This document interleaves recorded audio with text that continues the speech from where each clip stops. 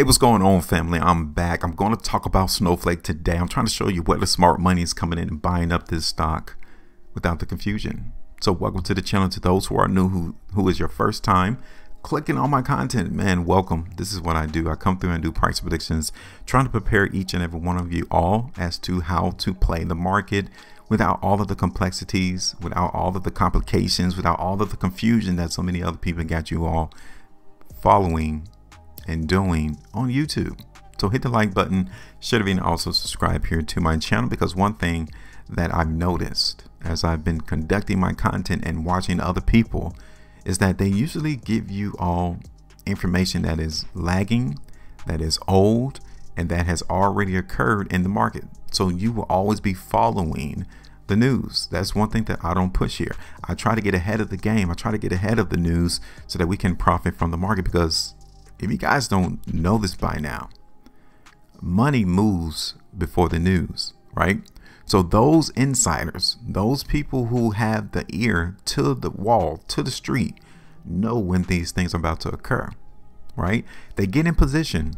So when the news actually breaks on mainstream media and, and on social media platforms, they're able to ride the news to the higher prices where they're expecting the market to move. Let me show you all this because I'm going to show you all the snowflake today that the market may have actually bottomed and that the buyers, smart money, those who understand that, yeah, I might need to buy the stock here around this price are doing. You can see where they are located, right? So let's talk. Look at this. Okay, first things first. Can we tell, right? We could tell that the overall sentiment into the market in Snowflake is down. Like, let's keep it real. We understand we're not going to be fooled. We're not going to be tricked.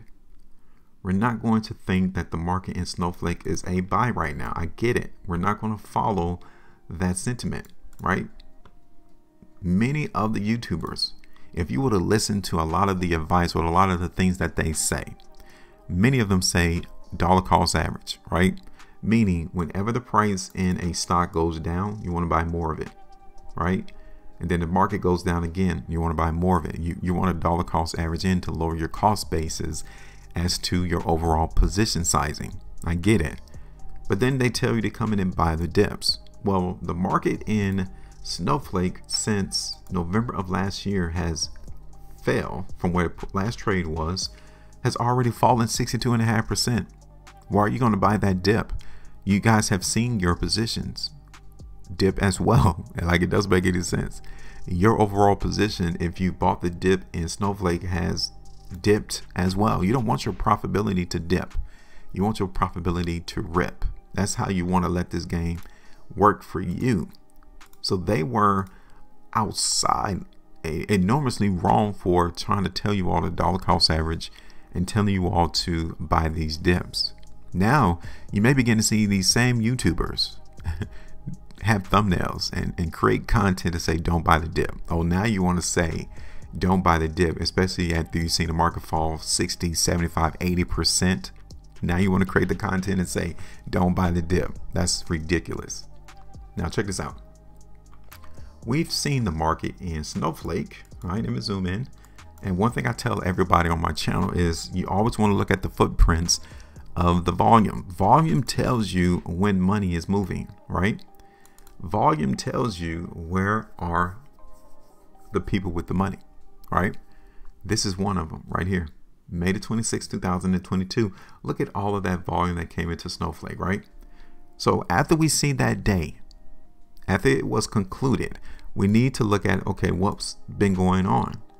Because if the market in Snowflake was selling on that day, we would not be seeing the price trade sideways if that was mostly selling that occurred on May the 26th. But instead, the market in Snowflake traded sideways. Hmm.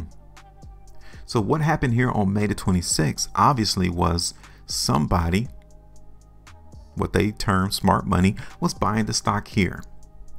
How do I know? Like I told you, the market didn't fall. If that was mostly selling, we would have expected the price of Snowflake to do this, right? To continue to fall because whoever sold on the 26th wanted to get out the play because they knew that the market was going to fall further. But that was not the case. The price in Snowflake did not continue to fall. Here we are today, And the market actually is still trending sideways. We're still seeing, and now we're actually seeing the market actually move up. Hmm. See, the answers are already here. People just make it difficult because they want you to use a discount cash flow or eight pillars of success and they want you to use some fundamental analysis and it doesn't need you don't need all that. All of that is pointless. So now let me show you all a weekly chart okay? Because you can see it again. You guys can see that the sentiment is changing in snowflake. The market has bottomed. Now my only issue my only problem is the downtrend like are we still in a downtrend in snowflake Today, yes, we are. So, should we be massively bullish in this stock? Should we be? No, we should not be. And not only that, we have a near point restriction here in the market in Snowflake already. So I would say it's around this area. Okay. So let's keep it real.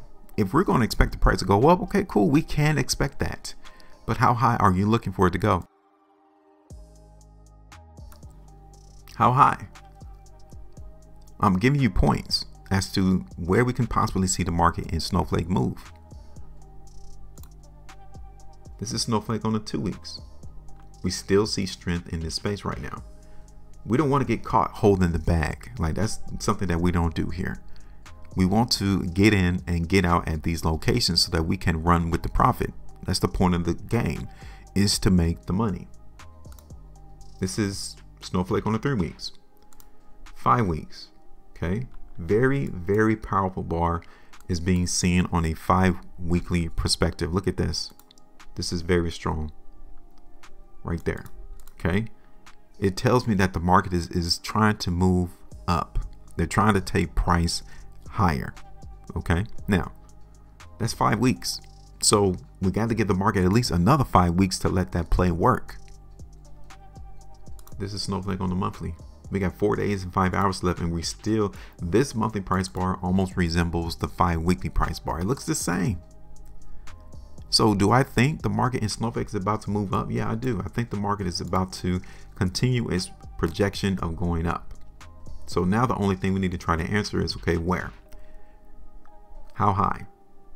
because my first area is around 160 165 my second one maybe will be around 180 okay? And then once we continue to see these market moves higher you're going to begin to see these other youtubers create the content on stocks to buy. They're going to come back out come out their holes and say all right these are the stocks that's going to move up especially once this continuation of movement higher goes on. I already know of their game because right now since the market has fallen what 65 70 80 percent now you don't see those videos that they were creating back in 2021 they quit talking about the best stocks to buy now because they don't know how this game is being played. So be careful because once they create those videos could be the last opportunity before the market begins to go back down. You got to get ahead of the game. So let me go out go out and do this right here. I want to look for the price in Snowflake to move up, right? So we're to play that. Now, I got this first horizontal line here. Okay. That's to be my first price target. I'm to look for the market in Snowflake to move there first. Let me drop this. Okay. Now, as long as the market in Snowflake supports the price around 125, I'll, i will be cool with that you know, if I see the market next week begin to come down, but we don't fall below 125 on weakness, we continue to hover it, then the market begins to go back up, I'll live with that because it, it will still tell me that buyers are coming in the market right there around 120. So I won't be worried about it too much unless the market does this completely breaks. Then you have to let that play go. You have to let the idea of looking for snowflakes to move higher. You got to let it go because it's going to continue to break down to lower prices. Okay. Now, I'm looking at it right here first. Okay. This is my first price target, which will give us a 7% run. Okay, I get it. 7%. we're not here trying to take from the market. We're going to simply receive what it's going to give to us. If they're going to offer us seven and a half percent, we got to take it. If the market's not going to break above 160, 165, we got to take the profitability there. Okay. My second price target is going to be around 172, 175. Okay. then my third price target is going to be around 180.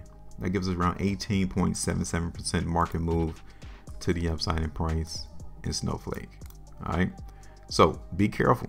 We got a couple of restriction points already laid out on this chart. The first one is already at 160, 165. Be prepared for that. But the biggest problem is on this downtrend line. Okay. Keep your eyes focused on the downtrend line because if the market buyers get rejected right here and price begins to come back down, we know that the long-term trend is still weakness. Don't fall for the information that you see on YouTube. Don't fall for the information that you see on social media or even on mainstream media. Because they're going to still come out with the analysts and their recommendations of being of Snowflake being a buy. And we pay attention to the money. If they say it's a buy, then we want to see the price do this. Break out. If it don't do that, we already know what the real is because money don't lie. So let me know what your thoughts are right now in Snowflake. Tell me where do you think the market price is about to go. I do think that the price is trying to go up in, in price. I have given you all my price targets. Now give me yours. Make sure you maintain profitability. And as always, trade different.